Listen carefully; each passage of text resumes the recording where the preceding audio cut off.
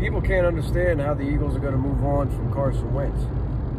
But, but personally, I don't understand how some people don't understand it. I mean, look, you you you can do as much as you want for the guy. You can change head coaches. You can change coordinators. You can change everything. If Carson Wentz doesn't want to be here, you can't change his heart and change his mind. You just can't do it. If he's mentally and emotionally checked out of being a Philadelphia Eagle, I'm sorry, he got to go. If this was anybody else, if we were talking about any other player, and we have talked about other players that are like, I don't want to be here. I want to trade. I want out of Philly. We can't see you, bitch. Bye.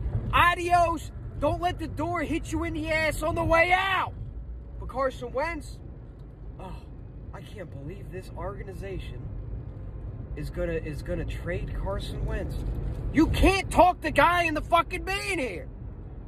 You fired Doug Pederson because he wanted to move on with, from Wentz and go with Hurts. You didn't give Duce the job because he didn't want to go with Wentz. He wanted to go with Hurts. You hired Nick Sirianni because he was the next best thing to Frank Reich. Carson Wentz is a strange father, and it still isn't making Carson happy. You got to fucking move on. You know, everybody wants to blame the organization, and they deserve blame. Lurie has botched this entire thing. You can tell you made a your head coach interview for the job he already had once, but not once, but twice. You can blame Howie Roseman and his Bobo draft picks. He's been terrible at drafting. The moves he's made since the Super Bowl have been abysmal, and he's absolutely deconstructed this roster through absolute shit picks and garbage free agent pickups. You want to blame Jeffrey? Blame Jeffrey. You want to blame Howie? Blame Howie. You want to blame Doug? Blame Doug. But stop giving Carson Wentz a free pass in this whole thing. All of them are culpable.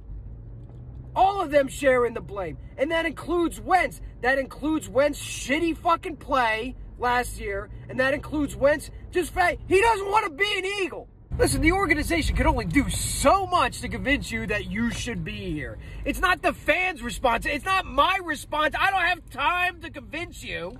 Ain't nobody got time for that. That you should be here. Like, I don't have the mental energy to waste on people that are checked out of wearing the green. Well, how do you know he doesn't want to be here? He hasn't said anything. That's the point. The point is he hasn't said anything. Nothing.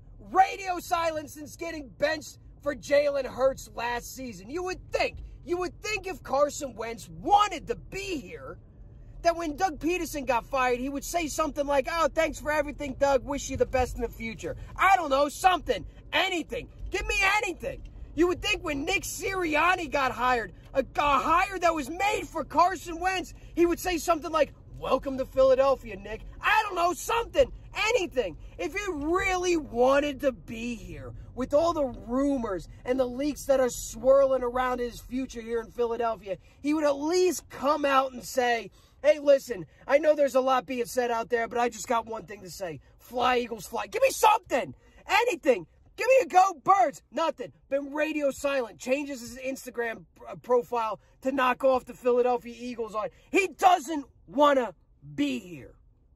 And still, people make excuses for it. It's unbelievable.